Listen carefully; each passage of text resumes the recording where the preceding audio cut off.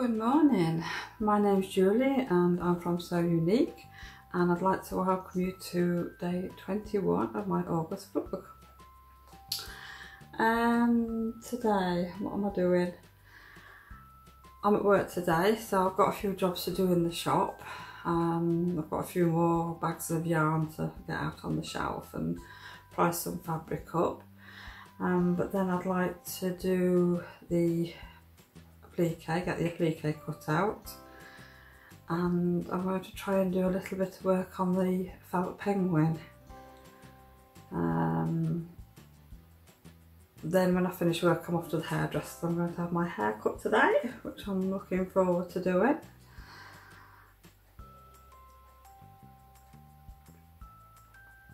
Just enjoying a nice cup of Yorkshire tea this morning before I go to work. And I'll see you later on.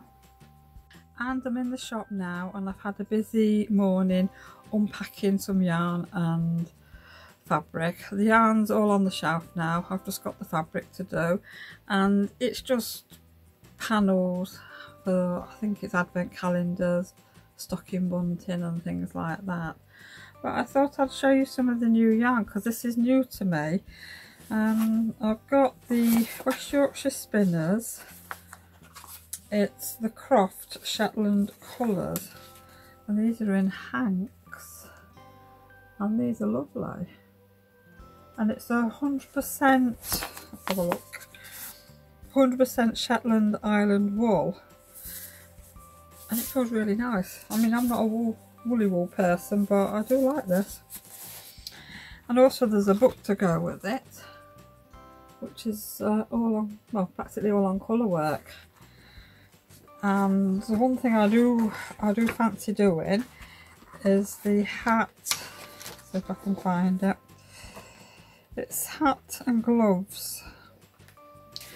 There we go.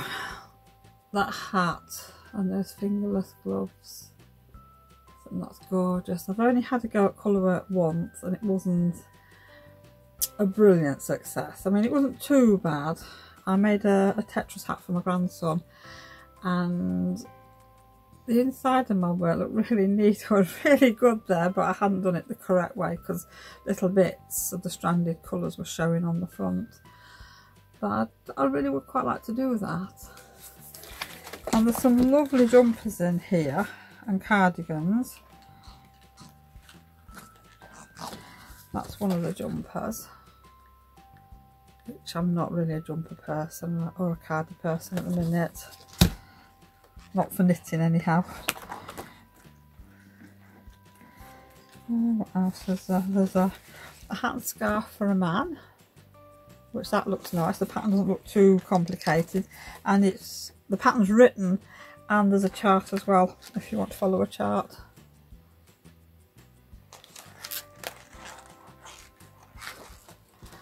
And that.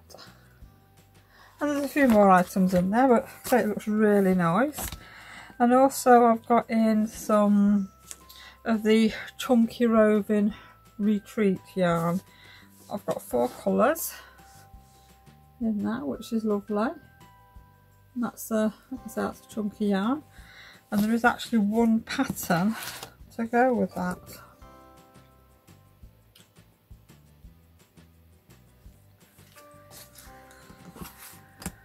So I just now need to tidy up a little bit I'm going to have a cup of tea and a snack um, and then I'll start on the, the fabric.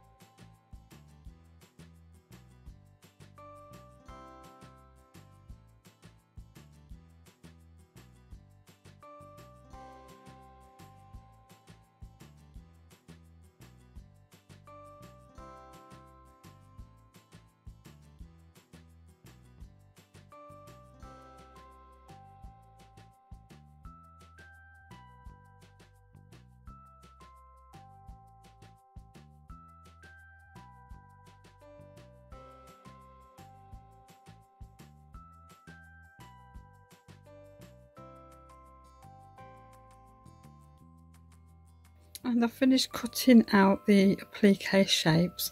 So I've got 16 altogether. So when I get home today I'm going to lay the quilt out and place the applique shapes on the quilt to see if I've got enough.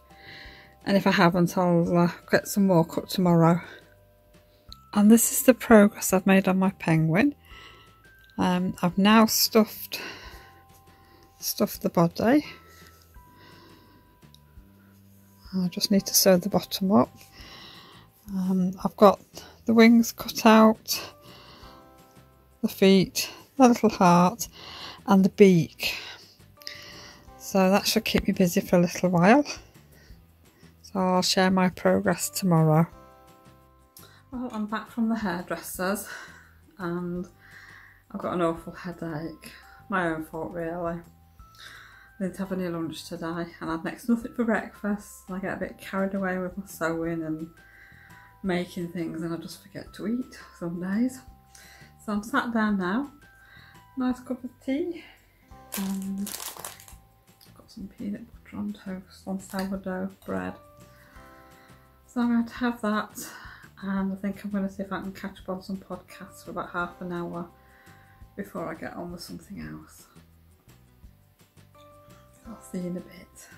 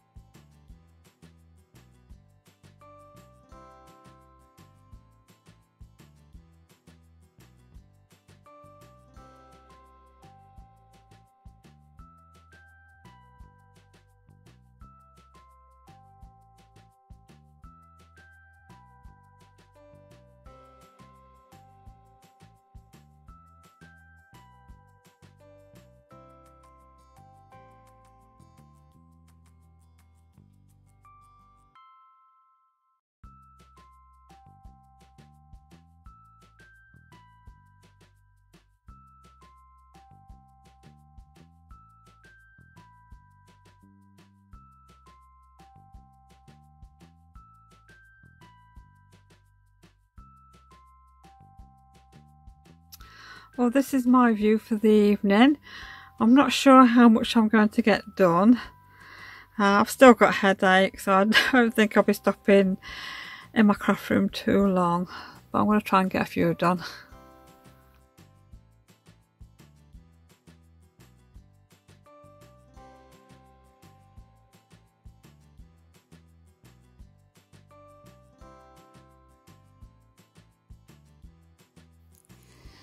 We've laid all the rag quilt out. The applique pieces have been ironed on. I've made a start on sewing, but as I'm feeling a bit off it today, I've decided not to bother and continue tomorrow because I need to concentrate. Um, but you can see, if I can move the camera back, see how short the quilt shrinks when you've stitched all your squares together but I really like the fabric. I like the applique and I think it's going to look really nice when it's made up.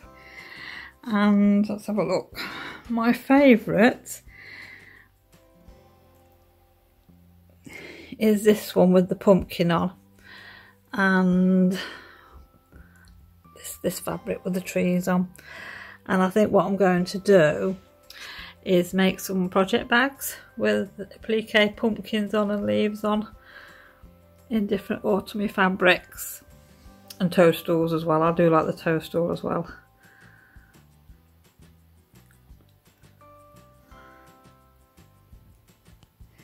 So I think this is going to keep me busy for, well, at least another week.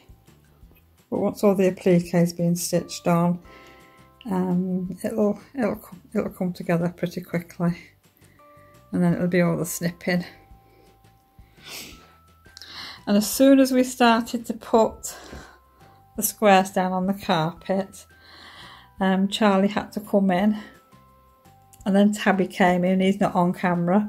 And then we've had Elsa in as well.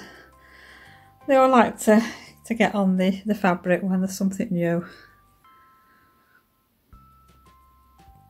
And we've sort of got a pattern in here. We've got three appliques on every other row and there's one here this leaf one which I like but I'm going to take that panel out and just get rid of that leaf because it's it sort of spoilt it a bit but this was the tester strip so it's, it'll not take long to do that that's the toadstool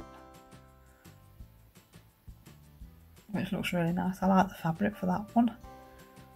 And that's the maple leaf, which I think's turned out really well. Right, Adele has just found these out. She made them a couple of years ago and didn't know what to do with them. So, as I said, I was going to make some project bags. I thought I might put these on the zip pulls now the toadstools are fine. I mean, they're made out of Fimo and they're nice. But the pumpkins, I'm not sure what, what we'll do with these because if you can see, these little green bits, they're quite delicate. I think they're going to break, so I'm not really sure what to do with them.